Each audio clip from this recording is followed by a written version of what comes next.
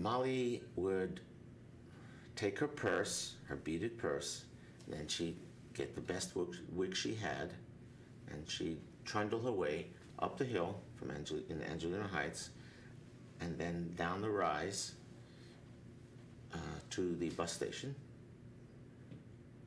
going to work. Work started at 7 a.m. in the morning. She'd been running the business for 745 dog years since since the early 20s. In fact, she used to say I get my best sleep there. And they provided flannel for suits. Flannel for suits. that seemed. She had this big party the Fourth of July with her with uh, her step stepdaughter's family, and uh, the only problem is it's not 7 a.m. in the morning. The sun is going down, not coming up.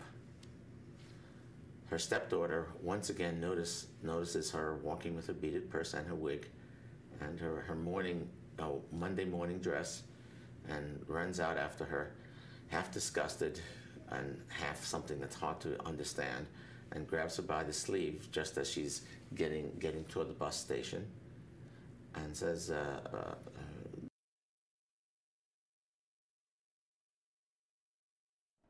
In 1920, Molly is a 20 something girl from uh, a Jewish home, a broken Jewish home in the Midwest, who arrives in Los Angeles uh, to find her husband, her husband to be. This man who'd been writing her, whom she knew from she knew from the old town. She arrives, unfortunately, noticing that he's been adding to his harem of women, and he has this girlfriend who's so a little rounder, fuller lips, uh, nice eyes, uh, got a kind of cute manner, not too clever. She begins to realize that her chances are not very good. there she is. She's living in uh, Boyle Heights.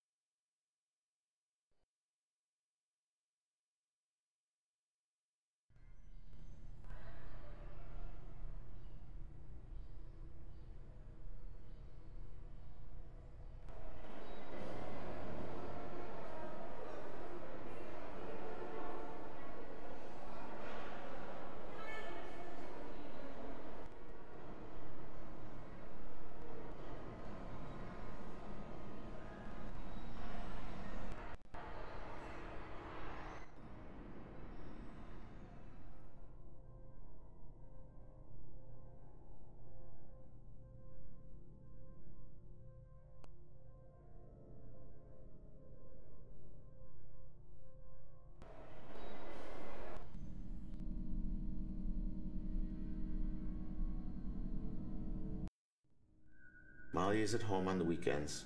She's barely at home during the week. But one weekend is particularly important for her.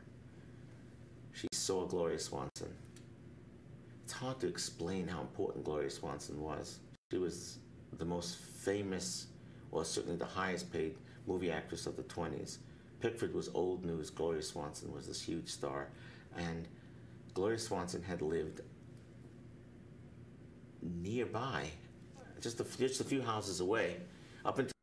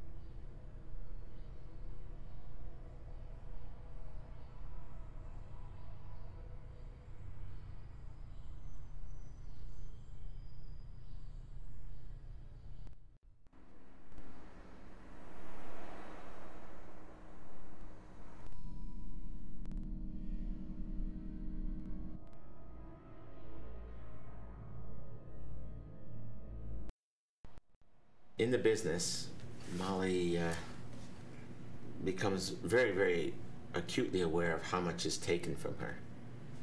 She even develops this belief that a little bit of swindling, honest swindling, is okay. And it may not be very much, it might just be buttons or it might just be a little extra cloth and so forth. And it becomes a kind of understanding as to how much you glean. And certainly Jack is a gleaner. He's, he's out there taking stuff, there's no question. And she tries to set up something a little bit more fundamental with him because it, uh, he, he's a vampire and a gleaner, gleaner if, if, if she's not careful. But it, there's a kind of innocence about the whole thing. And then she decides that the one person who's not been allowed to swindle is herself. So she begins to set up her own. It's hard to know what to call it because it's, it's a safety deposit box. She puts in about $135 a month. That's over $1,000 a year. That's a lot of money. She's able to, well, cook the books, you might say a little bit. And then in the, along the process, she also has access to uh, interesting deals with jewelry. It is the Great Depression, after all. So that means you can get incredible deals if you have some money. And she's managed to somehow put, put the investments together. She owns a little extra housing now. And even though she had to shrink back, she's surviving uh, reasonably well, even during the Great Depression. She's managing. And she put some jewelry in there. Obviously, why would Molly be wearing jewelry? It doesn't make any sense. So she's collecting it like an imaginary dowry. And she has this whole belief system about small swindles make, make for an honest person. Uh, something odd. I think I better stop, right?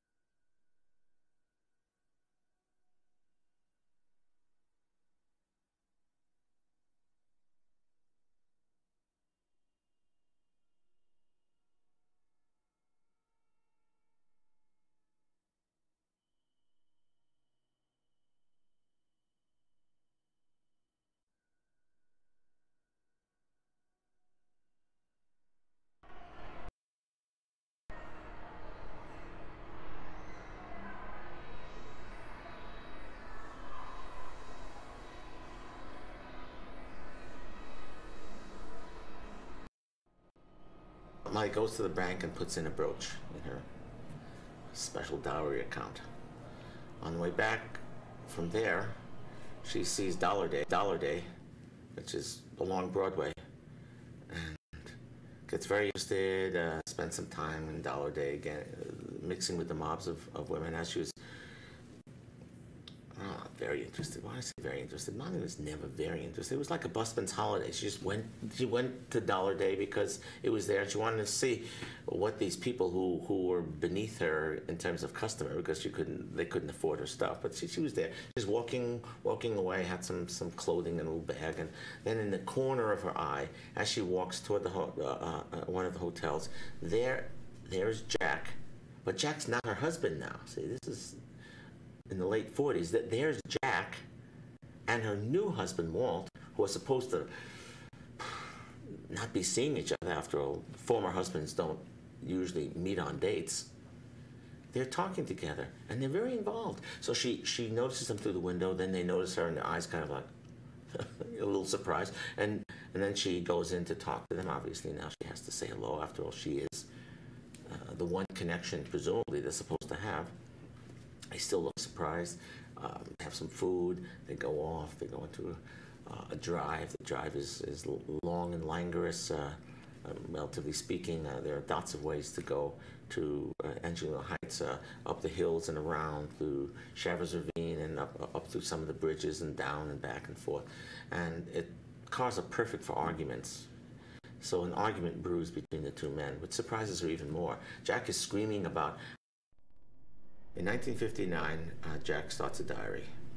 Keeps it for about two years. Uh, uh, it's pencil at night and pen in the morning. He has this fantasy, as often with Jack that, Jack that, that he was writing some kind of masterpiece uh, that this this would be the thing would show that even though he had some skill at the piano and some skill at dancing, uh, some skill at keeping businessmen interested over over three or four cocktails, or, or is it thirty? Uh, that that he has that he wears a, a, suit well. That that he he could have been an actor. They could have been this and that. But finally, he's found his niche. He could talk about his own decay. This is this is his hope. out of his own decay, he has a story and he's work, working with different details. He's living in Bunker Hill now, and clearly the, the, there's plenty of decay to study because Bunker Hill is being torn down, like his own life is being torn down. He he's watching uh, different parts of the city disappearing, and parts that he knew very well. His father's own house, the house that he grew up in. It's all it's all sort of changing. It's changing towards something that's rude and more asphalt and less green and so forth. All these meanings are are very sensible. He, he, he still meets Walt various times, and uh, he mentions at one point that uh, he and Walt, uh, well, they, they really do feel fundamentally, after everything is over or gone or continuing, that Molly was kind of a special looking woman and she had a kind of grace and beauty, but maybe not beauty, but and by the time they finished explaining how beautiful she was, you, you, you could have probably want to throw them down a down a cliff. I mean, it's not very flattering, but he writes about her in a kind of mawkish way, maybe, and then there's a break. There's a break in the text, a clear break, and he gets into more pen and more scribbling out, and things are really blotted out. Uh, clearly, Walt is gone. Something's happened to him, and it's like that break is like the break in so many stories. How do you feel that? Because he's not going to tell you in his diary what actually happened or how he was involved, but it's clear that he feels connected somehow, and that in some magical way, I suppose, magical, he feels as as if he has to keep a low profile because something bad will happen if he changes his life. So now he, he lives very much like another older man going to Pershing Square in the day and going off to Bunker Hill to watch it disappear at night. Becomes another faded suit uh, in, in the changing city.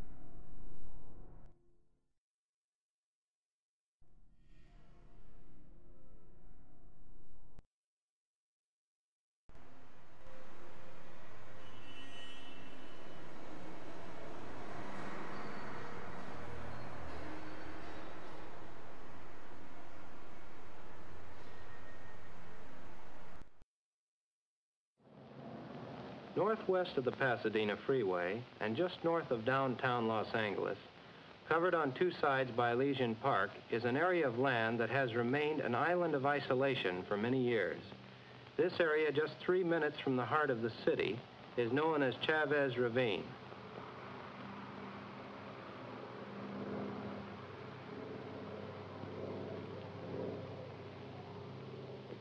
The hills of Chavez Ravine were at one time a haven for Mexican Americans and Mexican nationals. As the years passed, the city developed on all sides.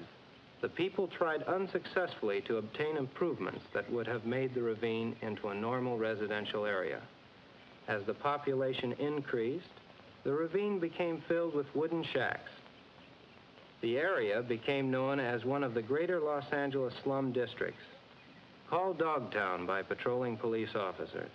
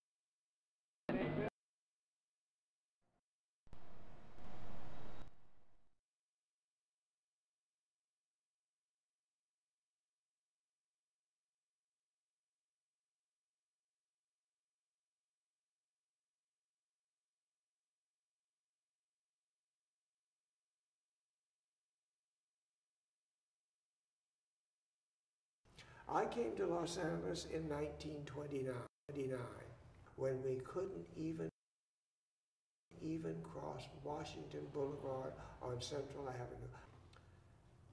Let me tell you why it was so hurtful to me to be segregated. I thought I was different. I just knew they wouldn't segregate me. And I got to the drill tower in my ROTC uniform, ready to risk my life for my country. I was stunned when they told me to go to Central Avenue. I was a West Sider. Where on Central Avenue? 14th and Central, across the street from the Coca-Cola building.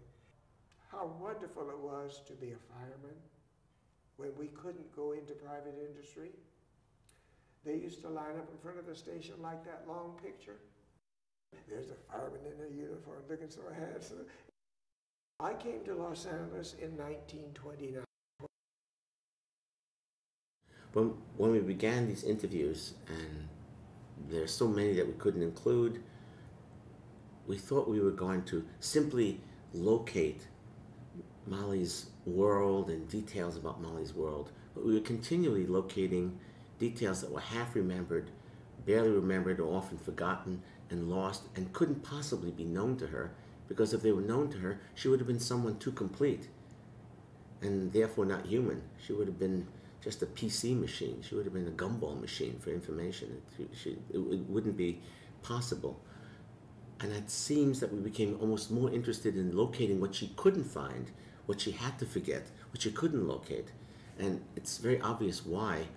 It's such a great pleasure to not be constrained simply by the legibility of the story, but by the humanity of a moment that somehow is led by this woman, by this woman's life.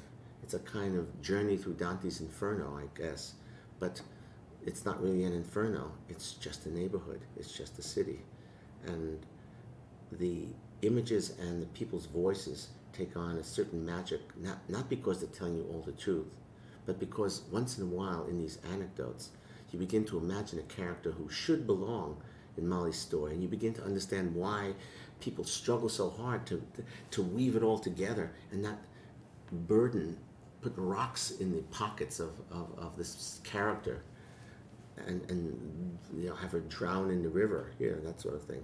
The, the, the complexity becomes such a great pleasure.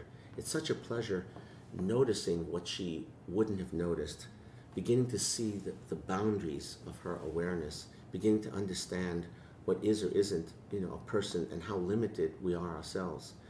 So in a way, the absences become much more present in these interviews than anything else. Generally, no one could tell the difference between a Chinese, Japanese, Korean, and we were at war with Japan. So basically, the Japanese were the enemies, and the Japanese Americans here in America, as well as the Japanese nationals here, were treated as enemy, the enemy. So to, uh, shall we say, stop from being picked on, the Chinese people used to wear badges saying I'm Chinese American. And many of the stores also uh, noted that they're Chinese Americans. But even in the little Tokyo area, some of the stores put in they were Japanese Americans, but that didn't make any difference. Still, they had the tag of being Japanese or the enemy. Our family was very weird, but not just our family, City Terrace, because we were very afraid of the police. We were not afraid of gangs. We were not afraid of Latinos or, or even really afraid of blacks. We were afraid of the police. And the, the word out was, particularly for girls, that if you were caught out after dark, you were going to get raped by the police. And this was just the feeling of the whole community.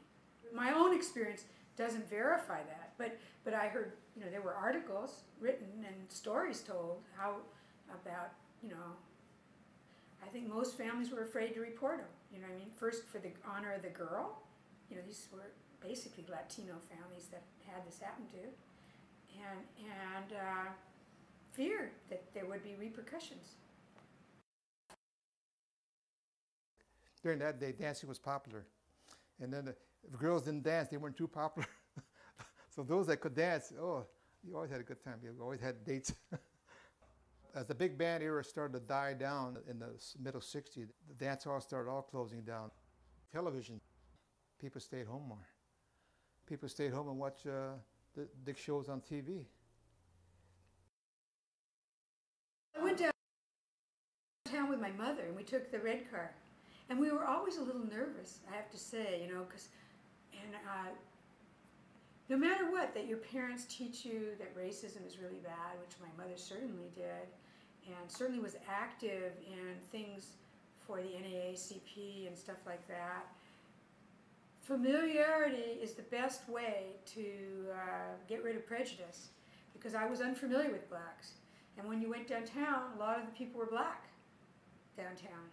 And I remember being, uh, I remember being very young and going down there as a child and pointing at one of them and actually staring and because I I don't think I'd seen a black person, you know, and and and and my mother trying to distract me, you know what I mean? Because she knew I didn't mean anything bad. I just was looking. You know what I mean? But that's how segregated the city was. That's how segregated it was that you would never see a black person. Japanese.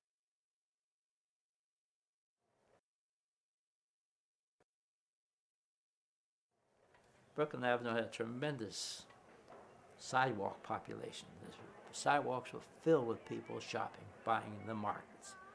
In front of each market, there was a herring barrel. And if you wanted a schmaltz herring, the waiter would come out, and my mother would reach to buy herring, whatever kind. He'd reach in there and pull out a herring, dripping, shaking, wrap it in a piece of newspaper. And this you bought, you bought. And so I called my article Herring Barrels on Brooklyn Avenue. My mother used to go to the fish store on Brooklyn Avenue, and she would see the display of fish on ice, no refrigeration those days.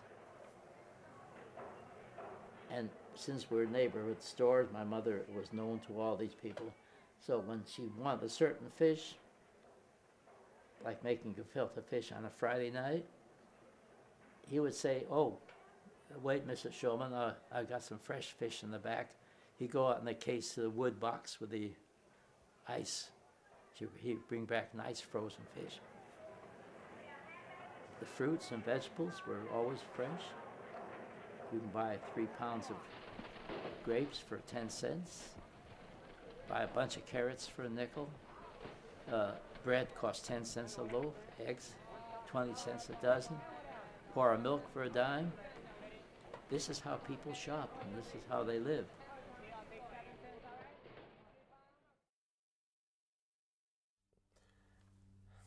if I were writing this novel completely, from from cover to cover, building it around this one woman, she becomes a set of eyes and a, a pattern that you pile everything else upon and around. She becomes a kind of container for the whole story.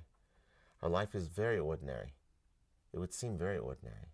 She arrives after the First World War. She is, shall we say, given a husband. She doesn't have much of her own energy, uh, except a business sense. She's very strong in business, knows how to get people to do their job. She's a kind of bookkeeper like personality. She runs a business dealing with clothing. They have two stores. One store is where the displays for fancier suits and where her first husband can feel important because he needs to feel important. He's just not smart enough for anything else. As long as he feels important, what else is lacking in his life doesn't matter.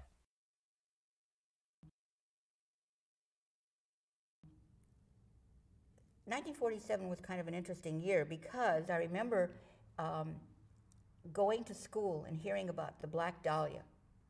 I took the Crenshaw bus, and it, I think they discovered her body near Crenshaw someplace. And this was January 15th, 1947, I remember.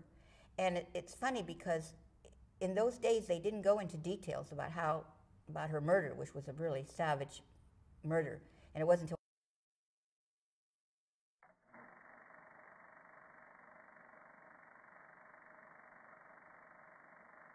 My dad was actually in Mexican town by Olvera Street on Main Street, which was sort of like the overflow from the little Tokyo area. We were welcomed in the Mexican community, so my dad had a Mexican grocery store there by Olvera Street.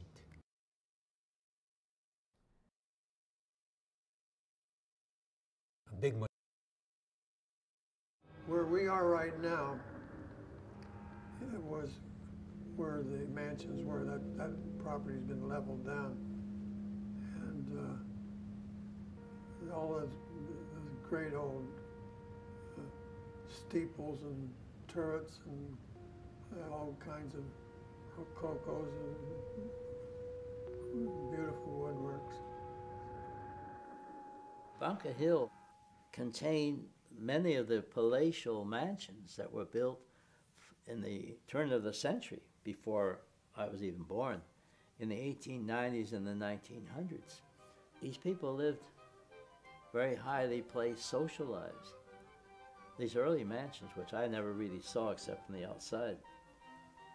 Mr. Bradbury, as many of the early inhabitants of the area, were making their fortunes from mining and from timber, which made it possible, like in Bradbury's case, to build the Bradbury building by George Wyman.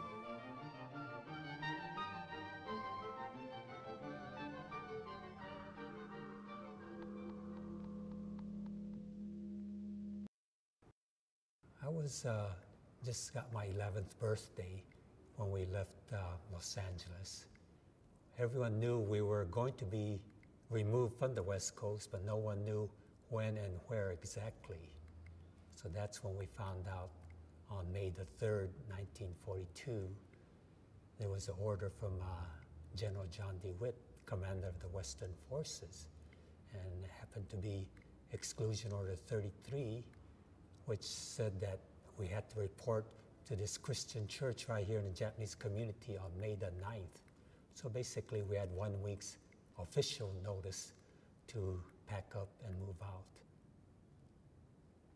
Since we're at all Japanese school, Japanese American students, in preparation for that, what we did was uh, take individual photographs and exchange photographs. So I have maybe 15, 20 pictures to this day from my classmate because of the outbreak of the war. But uh, during the war, Little Tokyo was empty and vacated, so it became Bronzeville. Many people from the South came here to Los Angeles to work in the war industries, such as the aircraft industry or the shipbuilding industry here in Southern California.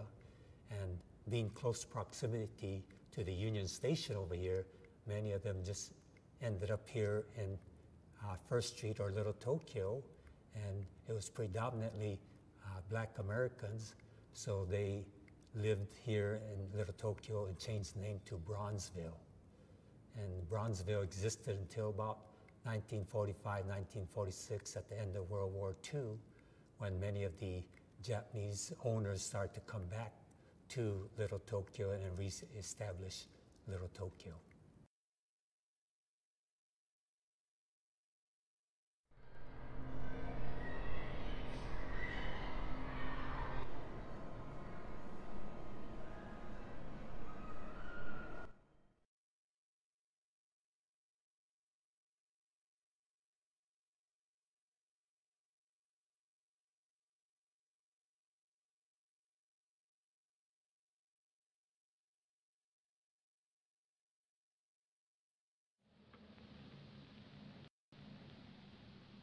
It seems like most of the old folks I've talked to about the problem of moving have always uh, felt that uh, if they figured something out for them, uh, that is, the government, it'd be an old folks' home under a different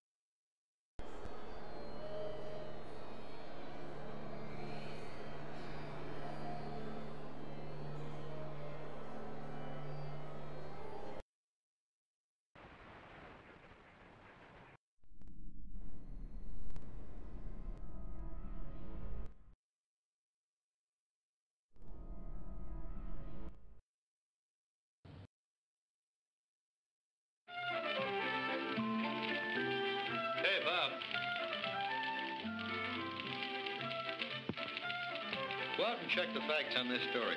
Seems like an awful lot of public housing, 10,000 units.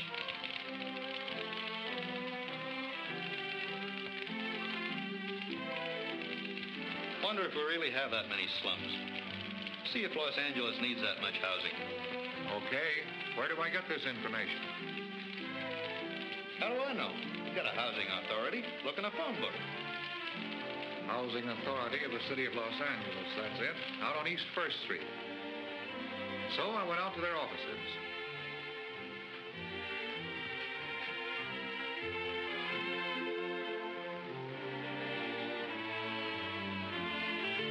I talked to the director himself. He showed me a series of maps of the slums of Los Angeles. I got the lowdown, maps, statistics, the whole works. I was told that the 1940 census reported 58,000 families living in the slums. I didn't more than half believe it. Not in Los Angeles.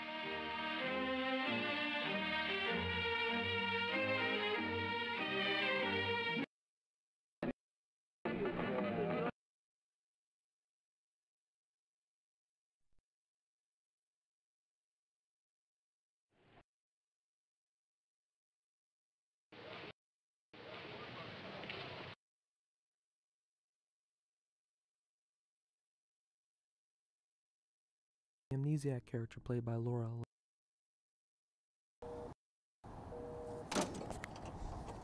In the motion picture Falling Down, the character played by Michael Douglas suffers a mental breakdown, and he wanders alone into one of the gang infested neighborhoods of Los Angeles, in the shadows of its downtown area.